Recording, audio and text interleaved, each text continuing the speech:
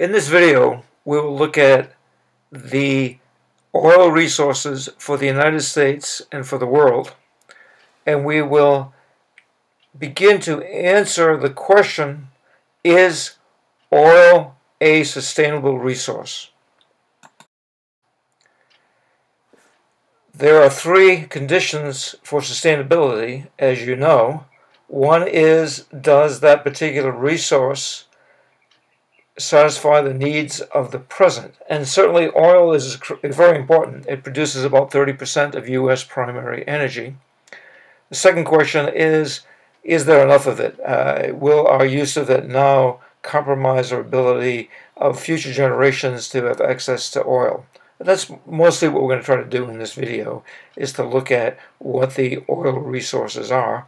And we'll also begin to look at the impact that oil extraction and oil consumption has on the natural environment and on human health.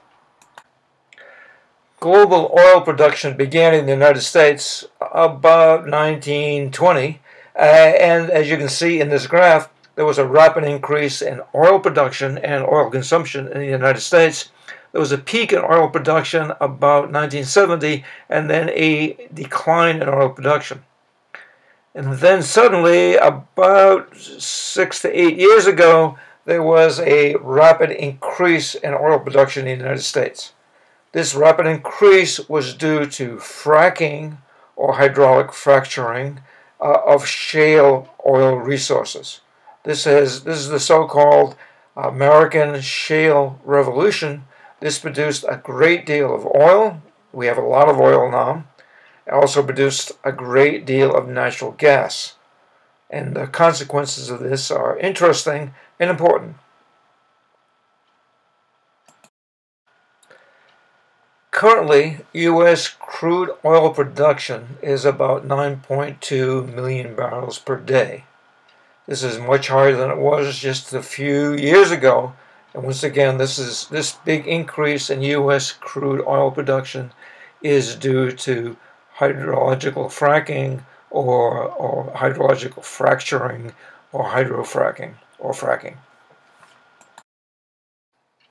The total U.S. oil production is substantially higher than the 9.2 million barrels per day, uh, and because additional oil is gained through extraction of liquids during the natural gas extraction process, uh, there's also some of the uh, oil that we use as part of our oil production comes from uh, bioethanol and, and other uh, uh, biological sources of fuel oil or oil substitutes, and this is included in the U.S. oil production.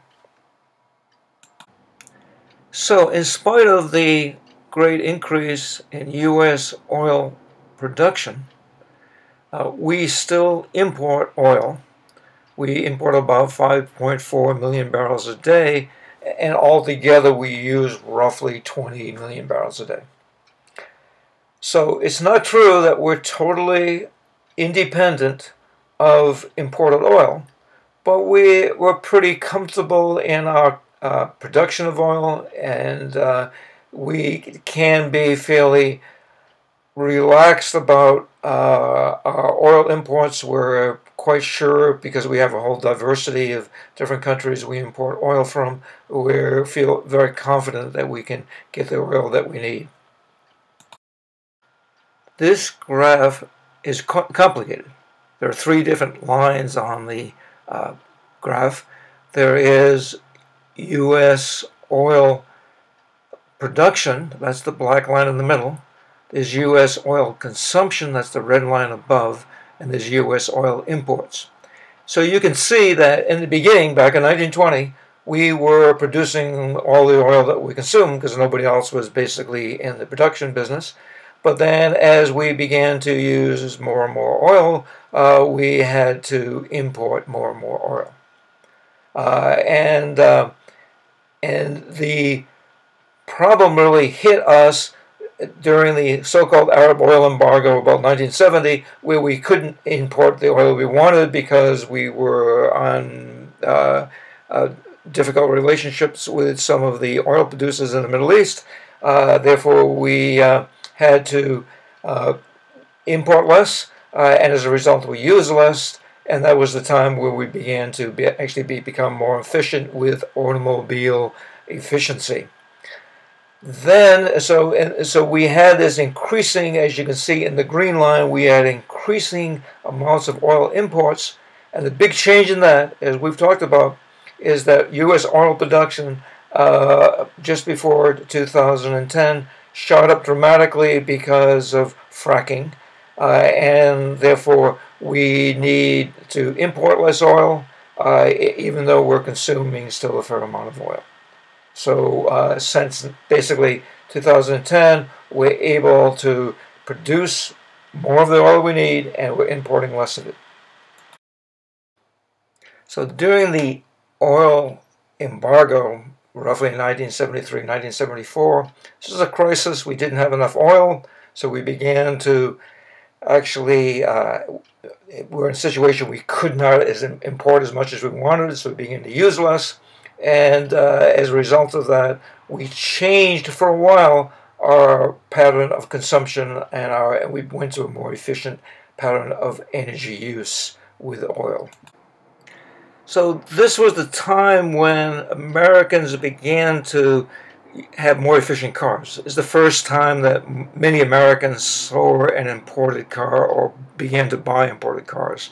Uh, this is the uh, Toyota uh, Corolla, uh, one of the first low-priced, highly efficient uh, automobiles that came into the United States.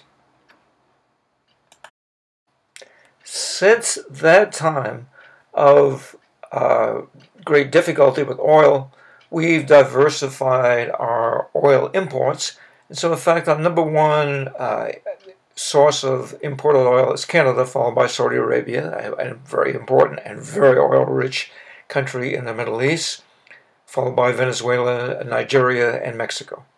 So we, it's a great diversity of oil resources. We're not dependent only on oil from the Middle East or from oil-producing uh, countries uh, that belong to OPEC. Now, there are two kind of general big categories of U.S. oil production. One is conventional oil, and the other is unconventional. Uh, the conventional oil uh, are the kind of oil fields that we're probably most familiar with. You drill a hole into the ground uh, and you pump oil out of the ground. So that would be a conventional land-based oil producer. Now, in addition to these land-based conventional oil production, there is offshore conventional oil production. And uh, as you can see, all of this is in the Gulf of Mexico, off the coast, coast of Texas, Louisiana, Mississippi, and a little bit Alabama. So the Gulf of Mexico is rich in oil, and these oil platforms are pumping oil all, all of the time. Because offshore oil production is so difficult and dangerous, there are accidents. Uh, the most famous of which would be the BP oil spill in 2010. That disaster uh, led to spilling about 5 million barrels of oil uh, into the ocean of uh, the, the waters of the Gulf. Uh, the impacts of that environmental disaster on the plants and animals and humans in uh, in and around the Gulf of Mexico still has not been adequately tallied. But this is certainly a very large price that we paid for this oil production uh, facility in the Gulf of Mexico.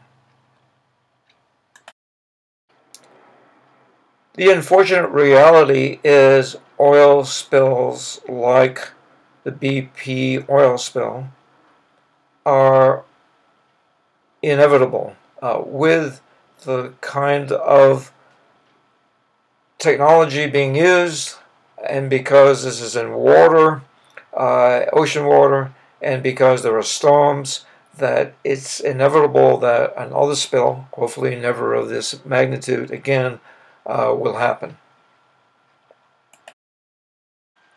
So, in addition to conventional oil, which has its dangers and its environmental impacts, there is unconventional oil. There are two kinds.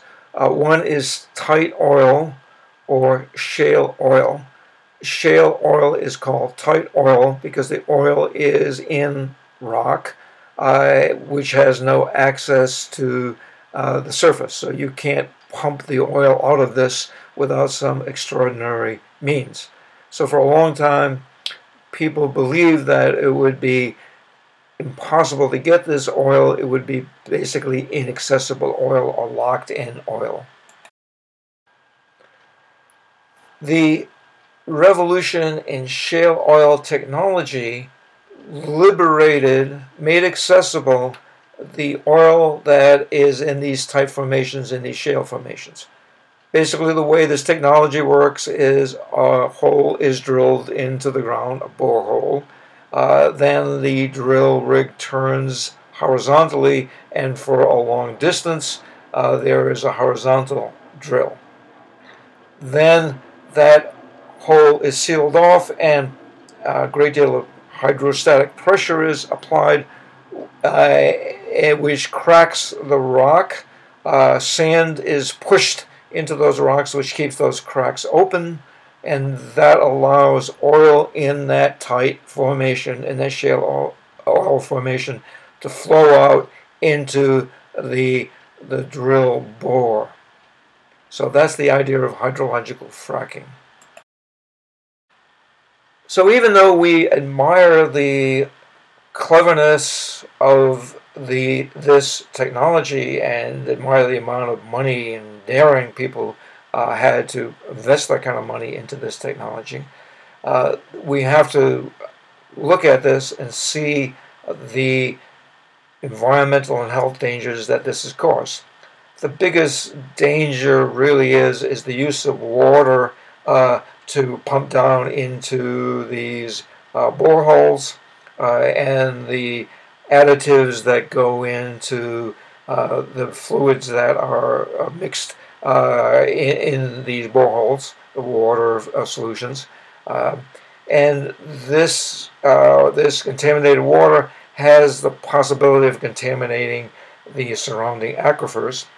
It's also true that a great deal of water is used, and the water that does come back to the surface uh, can be very salty, and uh, disposing of that water is a problem.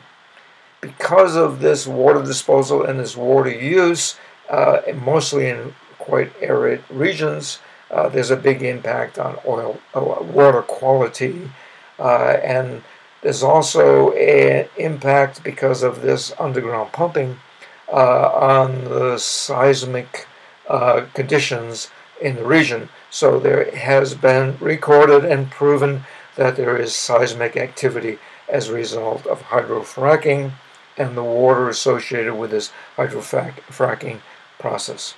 Uh, and there also is some very good evidence that uh, the natural gas released in this process can get into water, and there have been uh, many cases where people have had natural gas appear uh, in their water, own home water supply. So this is a water problem. There's also an air quality problem uh, in the areas that hydrofracking is uh, being used in great concentration. The other unconventional oil resource is tar sand, or it's also called oil sand the biggest deposits that are being actively exploited at this time are the Canadian tar sands in Western Canada. This unconventional oil is very unconventional. Uh, we're here in this picture, we're looking at tar sands or bitumen.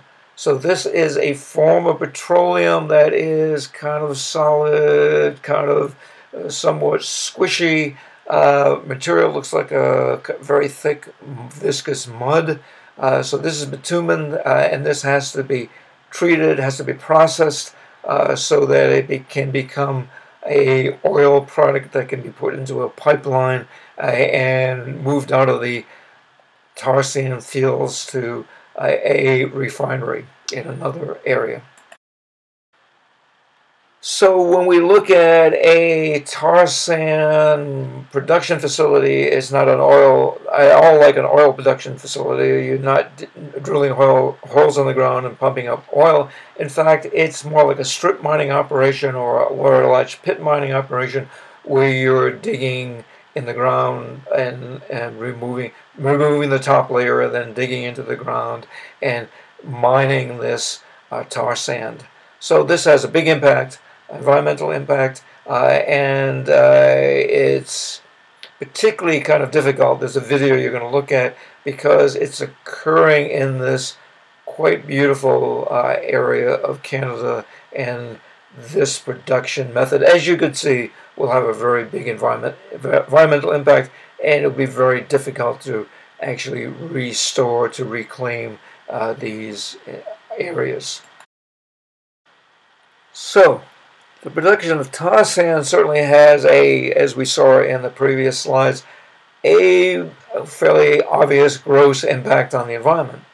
But in addition, this is a little bit more subtle, but if we look at the climate pollution, the amount of CO2 released, uh, the processing of the bitumen into oil uh, requires substantially more energy and therefore more CO2 is released in the process.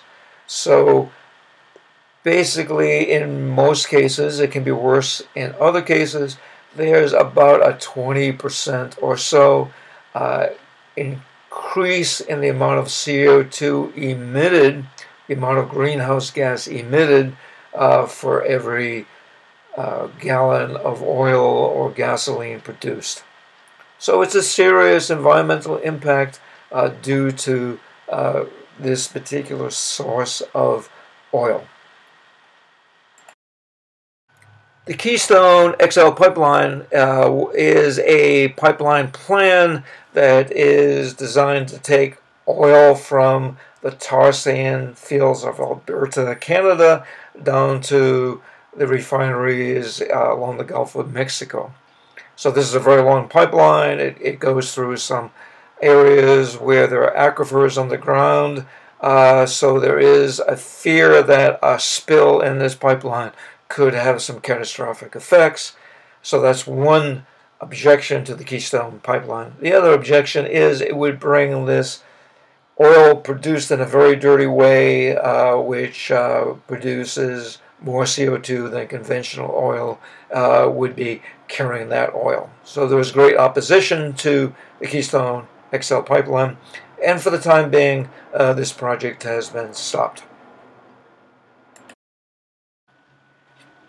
This is a very controversial area about the best way to transport oil. If you've been following this in the news, there have been a number of serious spills because a lot of oil without enough pipeline technology is transported by uh, rail, and rail uh, accidents happen with fairly good frequency. Uh, so there have been deaths and very serious oil spills into waterways and so forth associated with non-pipeline uh, uh, transport of oil. So this dealing with the oil is not a question of just pumping it and using it and refining it in between. It's also moving it from place to place in between. That can be a very dirty, hazardous business. So the bottom line here, in terms of actual oil resources, is there's a lot of oil out there. There's a lot of oil, there's a lot of natural gas, there's a lot of coal.